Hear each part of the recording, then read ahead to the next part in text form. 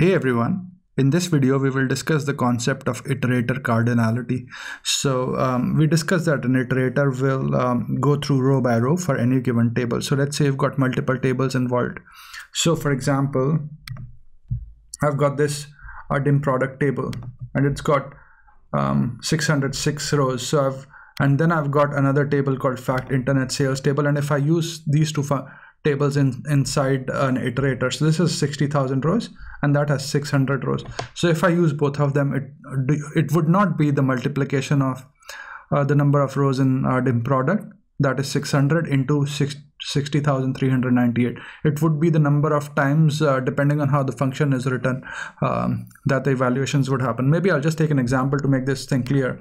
So I've got the DAX Studio. You can download it. You search on Google for DAX Studio and then you can download from SQL BI. And this is, so essentially I'm hooked on the, the Power BI data model and I've written a simple DAX where I'm just evaluating.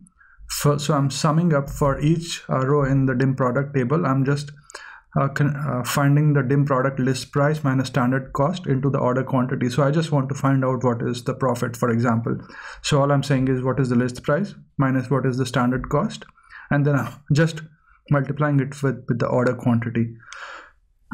So in this case, what will happen is for each row in the dim product table, it will go and fetch all the corresponding uh, uh, products in the order quantity table. So essentially, uh, it will get evaluated um, 60,398 times. Um, so it, um, that's how, how the evaluation would happen. That is for each row in the dim product table. It will find all the products in the fact internet sales table, then it will move on to the next product and then on to the next product and so on. So in this video, we've just looked at how the iterator cardinality works. And if it's not well written, it could really blow out your uh, query and that could take a really long time. Um, so in this video, we've essentially discussed the concept of iterator cardinality. I hope you find this video useful and thanks for watching this video.